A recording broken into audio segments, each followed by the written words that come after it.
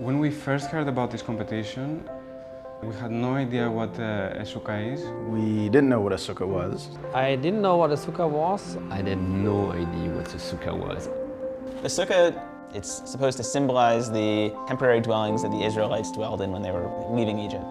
More than that, a structure is supposed to make you confront the things that you have are not permanent and the ways in which you yourself are not permanent. The sukkah is a strange kind of fabrication, and most of them are pretty boring.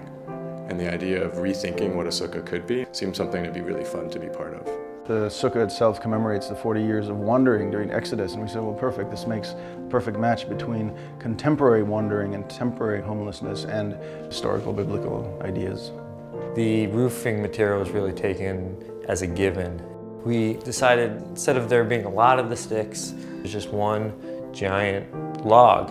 As I'm sure you all know, in Leviticus 23, 42, I believe, uh, we are commanded, you will dwell in booths for seven days. Not since the collective who came together to write the Bible have so many people talked about sukkahs probably as we are about to do today. The public would think we're looking at it formally. We're looking at these objects and we like one and we don't like one.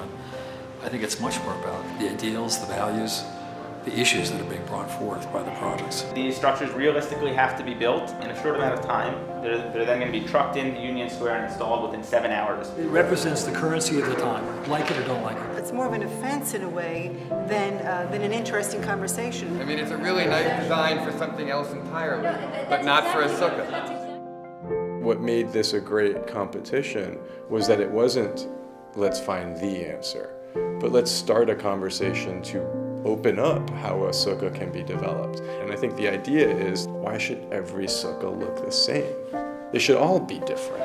Somebody said that this is the best sukkah ever built. That's pretty good for 4,000 years of building these things. After years with the canvas and the fiberglass, it's nice to see some new ideas. The sukkah is one of the very few times where the Jewish liturgy and tradition actually has an architectural expression. So it's amazing nobody thought of this before.